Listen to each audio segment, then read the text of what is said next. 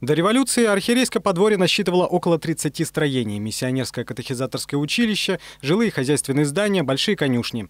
Перед домом была разбита роща с прудом, в котором, говорят, водили зеркальные карпы и караси, а владь воды украшали лебеди и дикие утки. Сейчас реставраторы пытаются воссоздать прежний облик, опираясь на сохранившиеся документы. Документов достаточно. Основные из них старинные фотографии, которые удается самым необыкновенным образом получить даже из случайных источников в интернете. Потом здесь был штаб воинской части, а в 2002 году, когда здание вернули епархии, реставраторы неожиданно столкнулись с загадками, на которые до сих пор не могут найти ответов.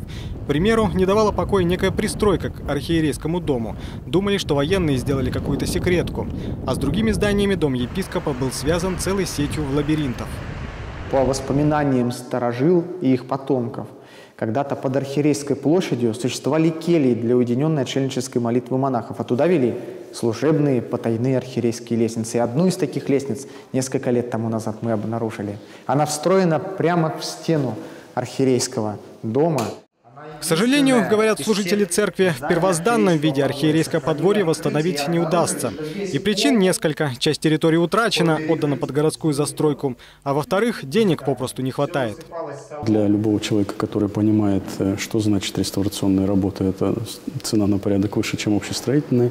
Поэтому, если мы хотим получить э, вот этот уникальный исторический памятник в надлежащем виде, необходимо кардинально менять подход к этой проблеме реставрировать ее не на частное пожертвование, а придавать статусу, э, статус памятнику федерального значения и получать финансирование. В этом году, чтобы избежать дальнейших разрушений, в архиерейском подворье защитили здание стен от влаги. И таких обыденных работ, которые проводятся только на пожертвования прихожан, впереди еще много. Чтобы придать уникальный статус, потребуется немало времени.